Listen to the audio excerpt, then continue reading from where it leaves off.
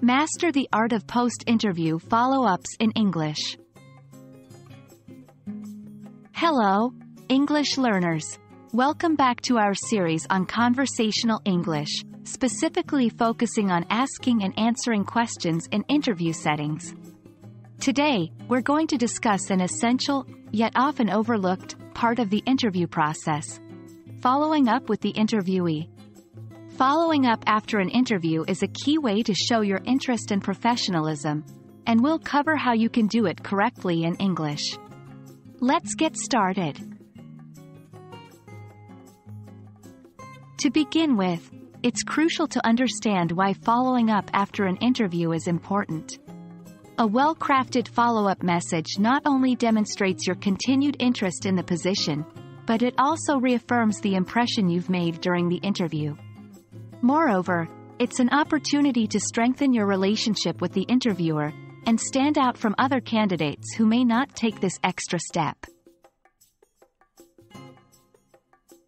So how do you craft the perfect follow-up message? Here are some key points to remember. 1. Be prompt. Send your follow-up message within 24 hours after the interview. This shows that you're serious about the opportunity. 2. Be professional. Start your message by thanking the interviewer for their time and the opportunity. It's not just polite, it also helps establish a positive tone for your message. 3. Personalize your message. Refer to specific points discussed during the interview to make your message more personal and memorable. 4. Reiterate your interest. Close your message by reaffirming your interest in the position and the company.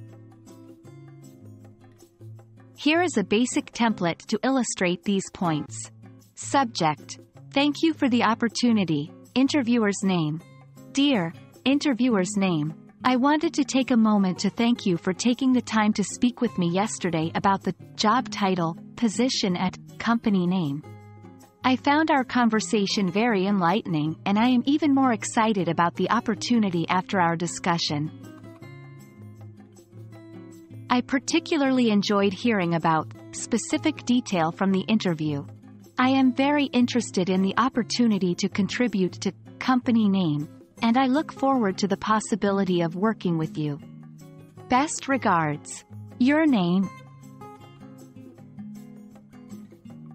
Sometimes, you might not hear back after sending your initial follow-up message.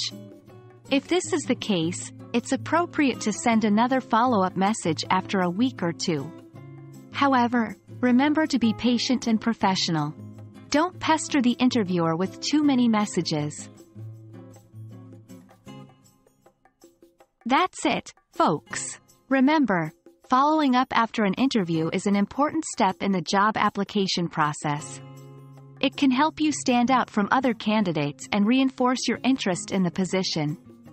And now, you have the tools to do it right in English. We hope this lesson has been helpful. Don't forget to practice writing your own follow-up messages, and remember, the more you practice, the more natural your English will become. Keep learning, and we'll see you in our next lesson.